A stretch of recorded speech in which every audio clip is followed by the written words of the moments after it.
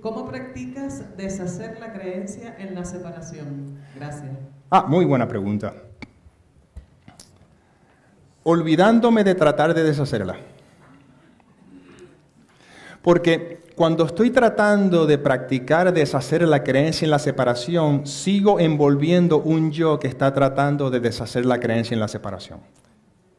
Lo único que sé es que soy consciente de que me estoy creyendo esta película. Por lo tanto, yo no tengo que hacer el deshacimiento. De hecho, un curso de milagros te lo plantea. No, tú no tienes que deshacer nada. Tú lo que tienes es que abrirte a ella. Entonces, ¿cómo me abro a ella? Observando los obstáculos. Porque yo no tengo que deshacer la creencia en la separación porque la separación nunca ocurrió.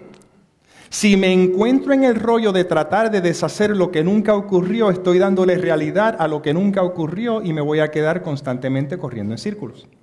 Por lo tanto, yo no me preocupo por deshacer la creencia en la separación. Yo simplemente estoy consciente de qué tan fácil me distraigo para seguir poniendo en práctica el perdón y la, la consecuencia de esa práctica es la paz que estoy experimentando y, la, y eso se deshacerá cuando se deje el cuerpo y final eso me da igual.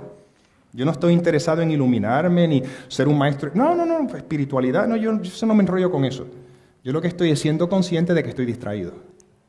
Entonces ustedes, para efectos de este lenguaje, son el espejo, es la relación que estoy teniendo, dentro del cual puedo observar los obstáculos a la paz. Por lo tanto, a través de esta relación que estoy teniendo con todos, a veces es con una persona, a veces es con más de uno o lo que sea, con el mundo para efectos, que es un espejo, estoy constantemente observando los obstáculos que surgen a la superficie para poder poner en práctica el perdón. Y ya el deshacimiento se está haciendo naturalmente a raíz de ese proceso. Y lo que ocurra, pues yo no sé, eso será... Lo que será, será. Solo que vives ahora la, experiencia con más, más tranquilidad, más en paz. Y eso es lo que el curso te está llevando, no a la iluminación, a la paz interior.